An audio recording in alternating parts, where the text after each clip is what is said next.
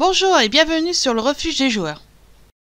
Déjà sur PC, A Short Hike arrive le 18 août 2020 sur Nintendo Switch. C'est un jeu d'exploration en pixel art. Vous êtes un randonneur qui parcourt les sentiers du parc provincial Oak Bank. Vous êtes complètement libre dans les choix de votre parcours.